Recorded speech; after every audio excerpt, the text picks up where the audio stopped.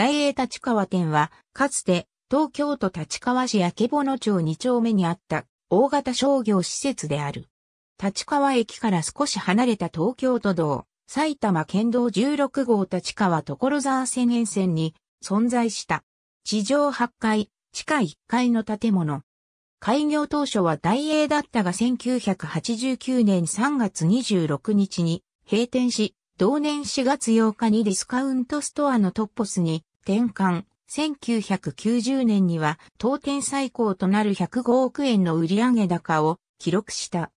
2006年には大英のシンボルマーク変更に伴う合理化策の一環として大英に再び戻った。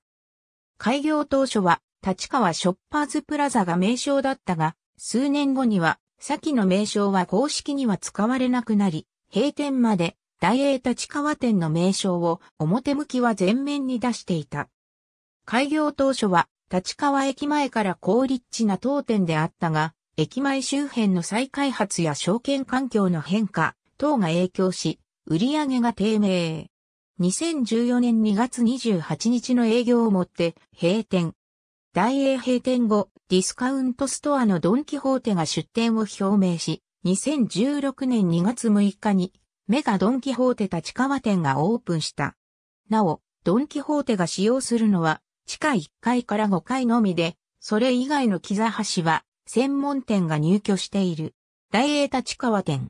ありがとうございます。